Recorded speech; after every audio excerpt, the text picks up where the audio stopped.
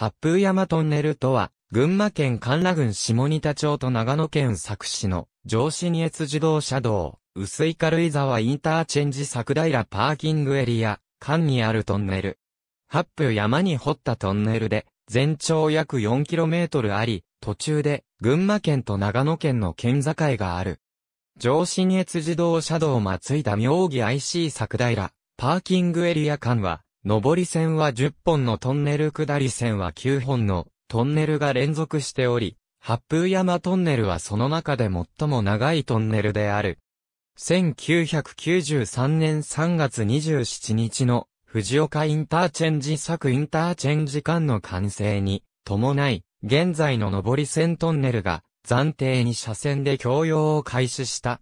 その後、2003年12月20日の薄い軽井沢、インターチェンジ作インターチェンジ間の4車線化に伴い、下り線トンネルが本格的に供用を開始した。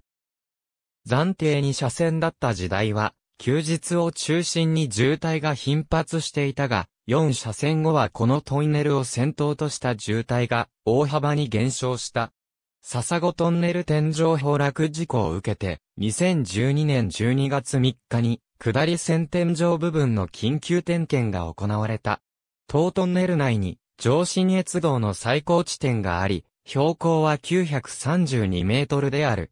なお、これは、ネクスコ、東日本管内においても最高地点である。ネクスコ東日本におけるトンネル天井板の緊急点検について2012年12月3日、東日本高速道路株式会社プレスリリース。高速道路トリビア。e ネクスコ。2016年1月20日閲覧。ありがとうございます。